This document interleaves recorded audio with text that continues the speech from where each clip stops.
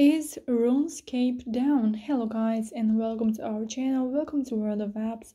So I know that many of you have problems with RuneScape because I received a lot of messages from people who have issues with it. I already went on Twitter and searched for RuneScape and on their um, account here they already said 28 minutes ago active issue alert. We are currently experiencing services issues with RuneScape.com, which also impacts game logins, web logins, account creation, and purchases.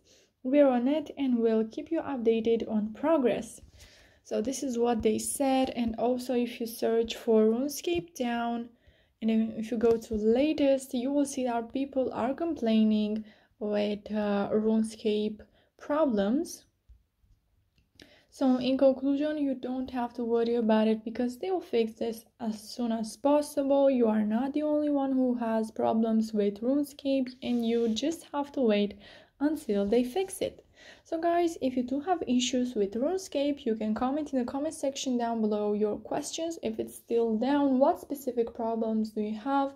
And I'll make sure to answer to them as quickly as possible. You can also like this video if it was useful and subscribe to the channel because I will post another update soon. So make sure to turn on the notification bell so you can be notified. Thank you so much for watching guys. Have a great day. Bye bye.